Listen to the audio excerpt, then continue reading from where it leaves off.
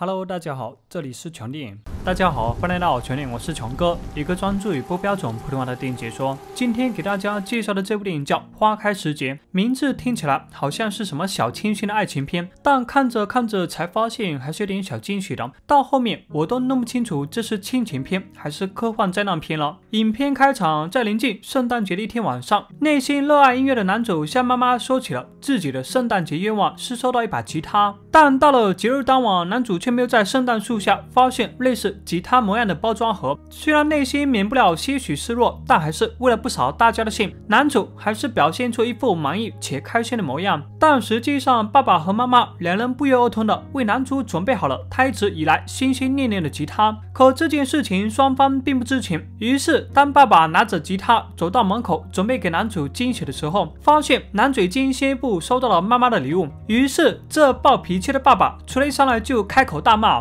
抱怨妻子和男主 不懂事、浪费钱外，还直接狠心的把两把吉他都带到了仓库给砸烂了。一直到了夜里，夫妻两人之间的争吵依旧没有停止。男主除了感到无力之外，就是满满的自责。他把自己关在屋子内，想要从睡梦中找到片刻安宁。这期间，妈妈来到了男主的屋内，留下了一张纸条，但这并不能缓和男主复杂的内心。于是第二天一早，男主就找到了同样热爱音乐的女主，想要把自己谱好的曲子。送给女主，但这时候的女主却正要搬行李准备离开了。看到此情此景，男主的内心更是五味杂陈。回到家的男主还是得继续面对爸爸的冷言相待和暴脾气。终于在晚餐的时候，男主忍不住了，他告诉爸爸自己恨他，然后回到了房子收拾行李，准备离家出走。但这时候轮到爸爸开始慌了，他试图阻止男主的离去，但不料用力太猛，反而把男主推到了地上。离家出走后的男主情况其实也没有好到哪里去。不过凑巧的是，当他愤怒地把手中的电话丢出。出去的时候，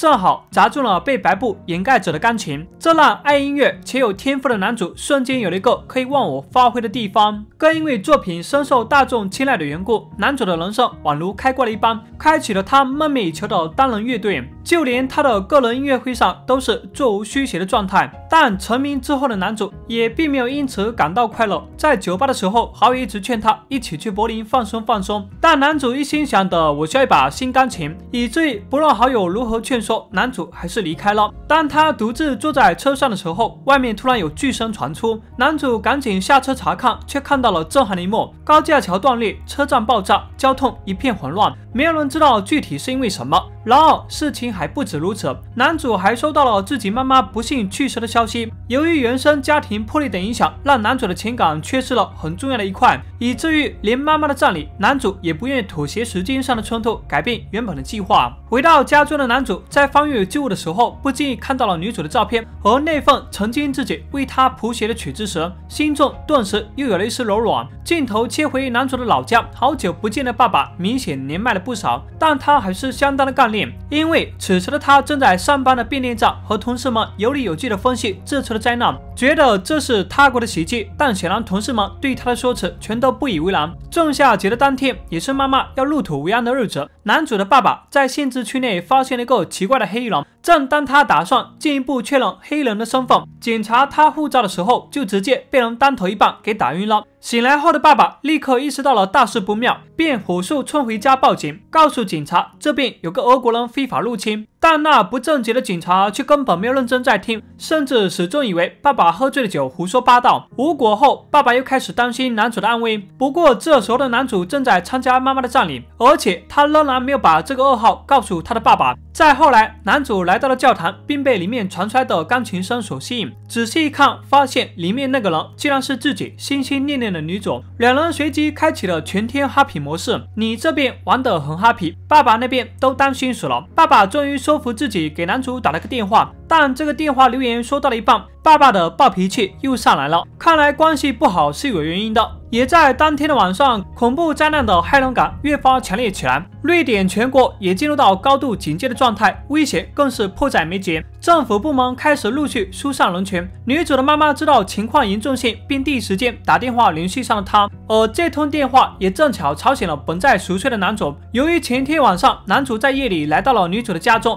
所以他并没有注意到女主其实早已经和别人结婚了，连孩子都已经五岁了。直到现在缓过神来，他才知道女主目前是已婚的状态。一时无法接受的男主更是一秒也不想多待，直接冒着大雨就离开了女主的家。一路上，男主的情绪都是崩溃的状态。本以为是爱情回来了，却未曾想一切都是上帝开的一个玩笑罢了。更倒霉的是，本在路边停车思考人生的男主，还不幸遇上了车祸。然而，当他跌跌撞撞起来之后，却发现前面撞到自己的那个司机，整个人看起来奇奇怪怪的，甚至还忘记了自己是谁，为什么来到这个地方。感到些许慌张的男主又马上驱车离开这里，但一路上看到的都是汽车发生车祸的糟糕情景，人们好像中邪一般，把车子到处乱撞。看到这样的情景，男主还是放心不下女主，所以又回头准备带她和她的外婆一起离开。另外一边，镜头又切回男主爸爸工作的地方，此时警报声不断响起，监控也陆续损坏，什么也看不到。原来政府说的国家被恐怖入侵是真的，很显然这里很可能也一样。好在男主的爸爸内心还是非常的强大，直接只身一人跟入侵者们开始了斗智斗勇。